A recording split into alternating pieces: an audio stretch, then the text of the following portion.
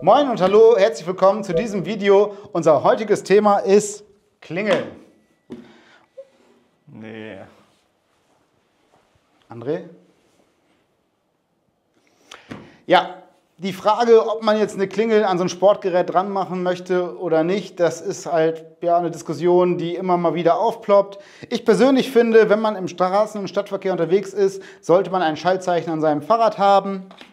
Egal, ich will das gar nicht weiter diskutieren, sondern dieses Video richtet sich an alle Leute, die eine gute und einfache und sinnvolle Lösung suchen, wie sie an ihren Dropbar eine Klingel kriegen, mit der sie klingeln können, ohne aus den Hoods umgreifen zu müssen, wenn es brenzlig wird.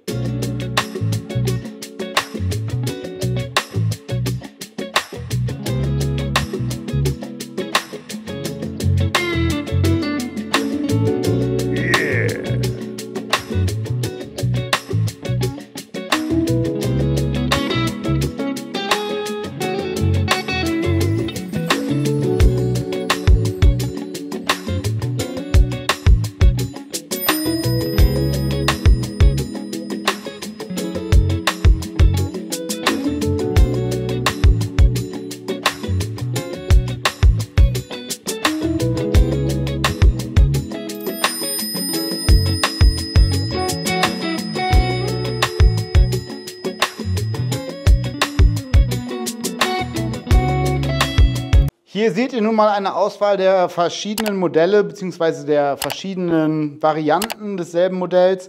Der Klingel von der Firma Crane Bell CO Limited.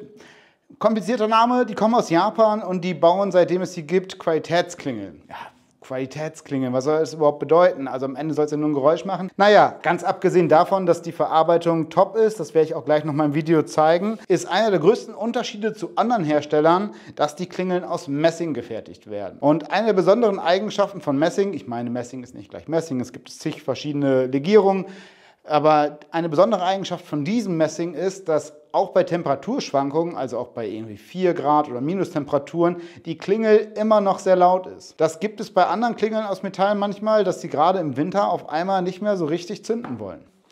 Die Verarbeitung finde ich deshalb so super. Ich habe die schon getestet. Hier gibt es einen Ausschnitt. Ich war damit äh, im Gelände unterwegs. Es klappert und rappelt nichts. Egal wie holprig es wird, egal wie schotterig der Weg ist. Hier sieht man das vielleicht ganz gut. Da ist eine relativ starke Feder drin.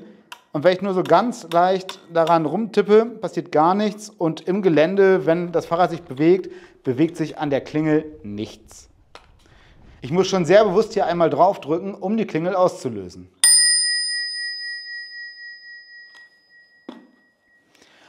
Und da kommen wir auch schon zum Klang. Also der Klang ist auf jeden Fall in einer verhältnismäßig angenehmen Frequenz, aber trotzdem sehr prägnant, dass er sich durchsetzen kann. Eine gute Lautstärke und auch einen langen Nachklang. Dieser lange Nachklang ist vor allem dann wichtig, wenn Passanten oder andere Beteiligte sich umdrehen, um zu gucken, wo das Geräusch genau herkam, dass sie immer noch ungefähr hören können, aus welcher Richtung das Ganze kam. Bisher gab es von Crane diese Klingel hier, die Ene, und die lässt sich so ziemlich an jeden Lenker montieren. Auch schon ein super Teil. Der neue große Vorteil bei der Ene SBR, ich hoffe, ich spreche das richtig aus, oder ENE SBR, keine Ahnung, was sie sich bei diesem Namen gedacht haben. Der große Vorteil ist, dass ihr sie am Dropper montieren könnt und zwar so, dass ihr die Hand aus dem Hood nicht rausnehmen müsst. Das zeige ich euch jetzt gleich, wie sie montiert wird. Das ist auch super einfach. Es ist einfach super praktisch, wenn die Situation mal eng und brenzlig wird, dass ihr nicht noch in die Mitte vom Lenker greifen müsst, sondern schön eure Hände an den Bremsen oder an der Schaltung lassen könnt und einfach mit dem Daumen die Klingel auslösen könnt. Die Klingeln passen an Lenker mit bis zu 35 mm Durchmesser und dieser Dome hier, also die Klingel selbst, hat einen Durchmesser von 37 mm. Dabei sind die Klingeln, egal welche Farbe sie haben, alle aus Messing und es gibt einmal die Varianten in Chrom, pures Messing, so ein bisschen Bronze, matte Schwarz und Chrome Black. Die habe ich jetzt halt nicht mehr hier, weil die hatte ich an mein Fahrrad geschraubt. Die seht ihr halt hier in diesem Videoausschnitt. So, jetzt bringen wir mal eine Klingel ans Cockpit an. Ich nehme mal hier die mattschwarze. Viele Cockpits sind einfach sehr dunkel gehalten und da passt sie auf jeden Fall gut dran.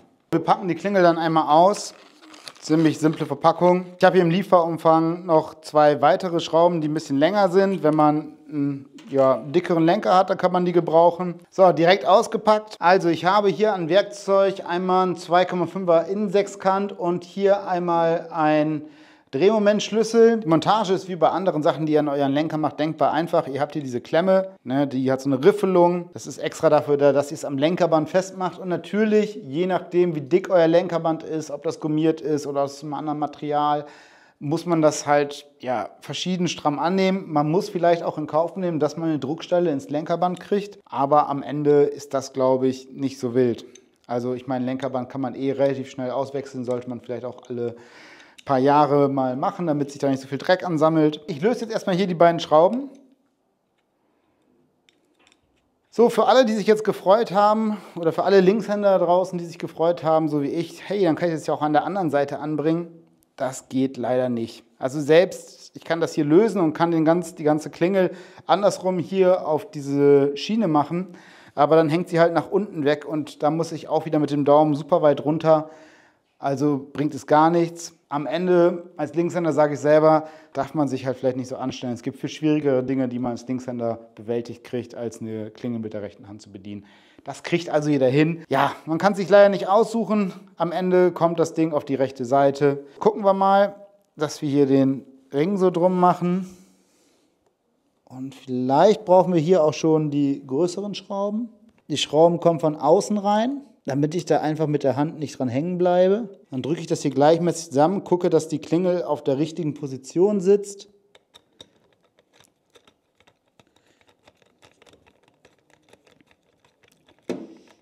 Gucke, dass ich die gleichmäßig anziehe. Einmal testen, bevor ich jetzt kann ich sie noch so ein bisschen bewegen. So, dass ich hier vielleicht ein bisschen Daumenfreiheit habe, so ein bisschen nach außen rausgedreht. Ich bin in meinem Video mit Handschuhen gefahren. Am Anfang war es ein bisschen eng, aber man gewöhnt sich recht schnell dran, dass dann hier noch was hängt. Dann ziehen wir es mal weiter fest. Immer schön gleichmäßig. Ich habe den Drehmomentschlüssel auf 2,5 Newton eingestellt. Newtonmeter.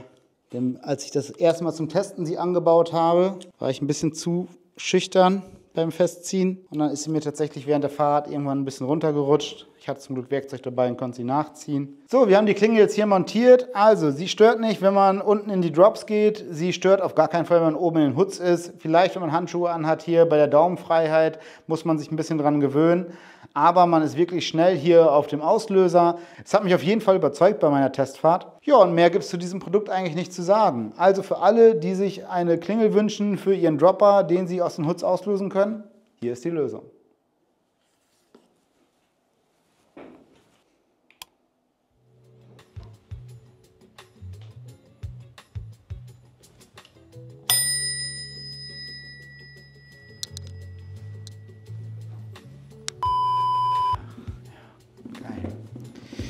Geil, geil, geil. Aufnahme läuft, oder? Ja, Aufnahme läuft. Geil.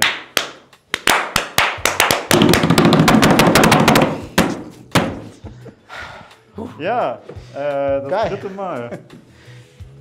Wir haben dieses Video schon viermal, äh, nee, dreimal.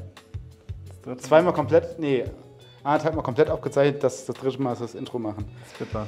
Das ist bitter. Aber jetzt, alle Wir wissen guten, genau, wie es jetzt losgeht. genau, alle guten Dinge sind drei. Ja, okay.